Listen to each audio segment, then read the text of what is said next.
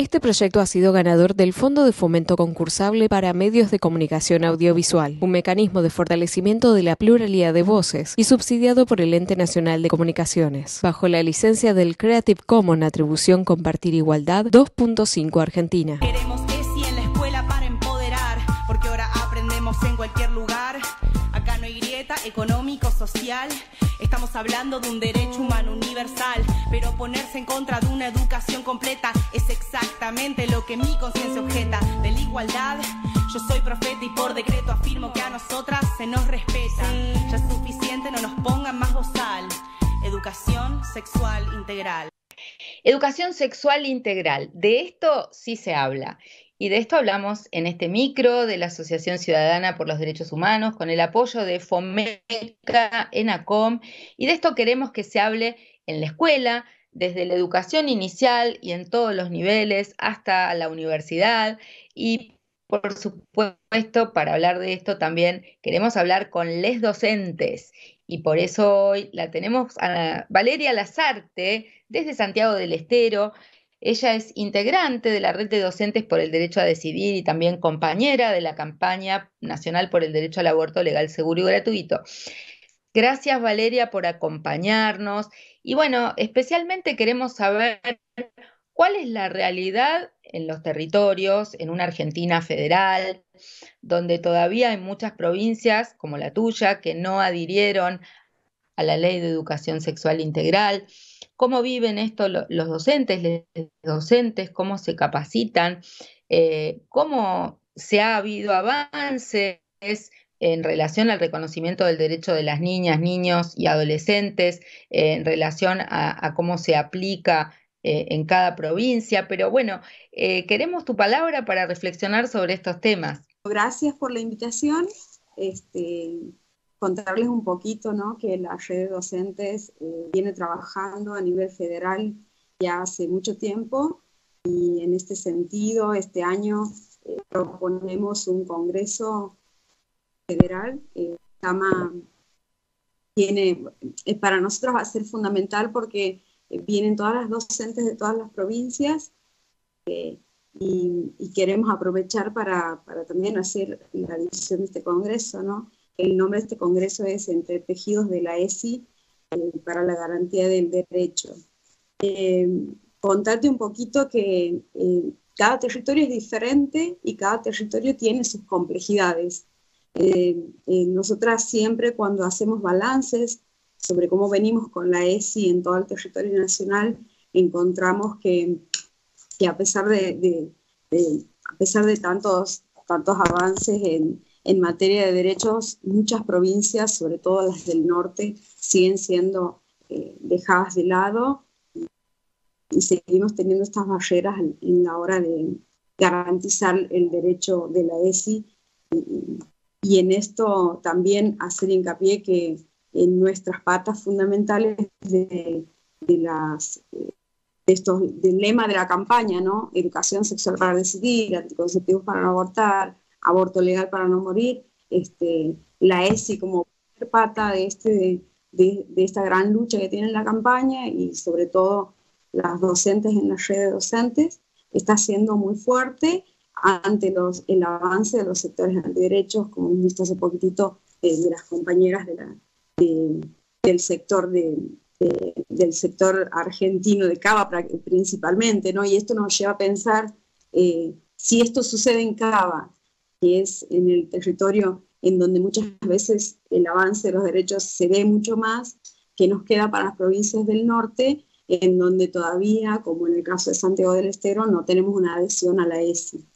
Este, teniendo en cuenta todas estas batallas, es que nos reorganizamos, a pesar de que la campaña en general, digamos, y la marea verde y todos los movimientos feministas en general han bajado el nivel de militancia que existía hasta el 2020.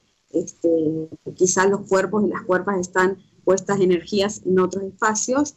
Esta es una forma de reorganizarnos y saber que no, no podemos dejar lugares en blanco, hay esos espacios vacíos, porque las derechas y, sobre todo los, los sectores antiderechos este, siempre se reorganizan y vuelven a aparecer y, buscan la forma de transformarse para volver a aparecer eh, en estos lugares, ¿no? nosotros somos una especie de vigilia constante para que se garanticen estos derechos. Eh, y en este sentido, este Congreso, que va a ser... ¿Cuándo va a ser el Congreso y dónde? ¿Cuándo y dónde? Eh, vamos a tener dos instancias del Congreso. El 10 de junio va a ser la instancia presencial, que hay un link circulando en las páginas de las redes docentes. Este, la primera instancia presencial el 10 de junio en la Universidad Nacional de San Martín. Tenemos toda la info ahí como para no quedar tiempo en eso. Y una segunda instancia es una instancia virtual porque sabemos que la situación económica en la Argentina es compleja, entonces para aquellos docentes que eh, no van a poder asistir a la instancia presencial, vamos a dar la segunda opción de la instancia eh, virtual. Pero este congreso, más allá de la red de docentes, está abierto a todos los docentes de todos los niveles que quieran involucrarse en el trabajo en educación sexual integral con estas características de particularmente inclusión de la IBE, de la ILE y de todas las diversidades que venimos trabajando.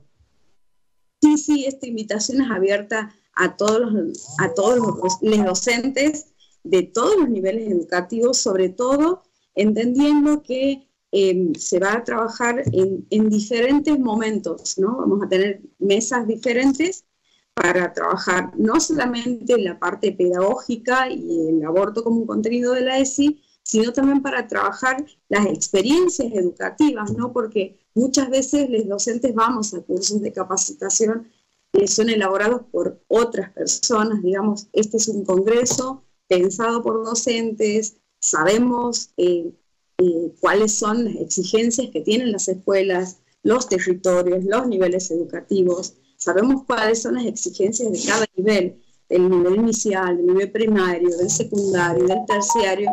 Entonces, de alguna manera, pensar este Congreso desde los docentes para los docentes, vamos a acercar un poco más la discusión. Se va a ver ¿Cuántas provincias, ¿Cuántas provincias no han adherido a la ley de educación sexual integral?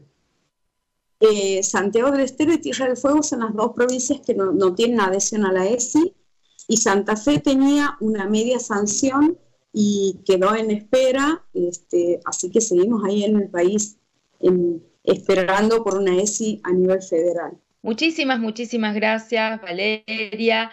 Era Valeria Lazarte, de la Red de Docentes por el Derecho a Decidir de Santiago del Estero y también compañera de la campaña nacional por el derecho al aborto legal, seguro y gratuito.